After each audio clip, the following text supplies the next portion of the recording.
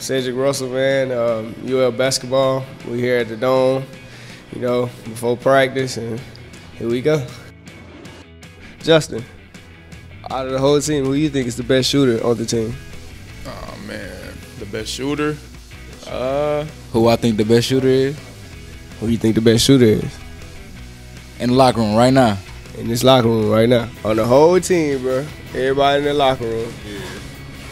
Who you feel like is the best shooter on the team?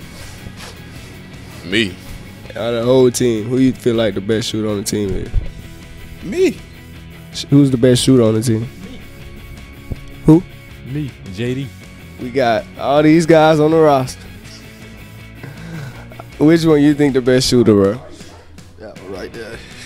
Just gotta go with myself, man. Why you say that? I mean, why not say that? My twin, Who? JD. Him? Why you believe that though? You believe I'm asking you why you believe. it true. I shoot 44% from the three. Um, I shot 41 last year. It's a close second, bro. You you right there beside me, but you know, I'm behind you. you right there. You, you know, we in the running for it, but you know what I'm saying. It's me. Okay. Um, you you wouldn't say nobody else? Probably PJ. What are you second? Yeah, PJ second. Who third? JD. Who fourth? Key. Key. Key. What about fifth? Marcus. We got 15 guys on the roster again. Mm-hmm.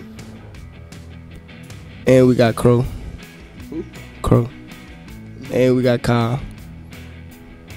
And we got Harden and Murph. Mm-hmm. And Bob.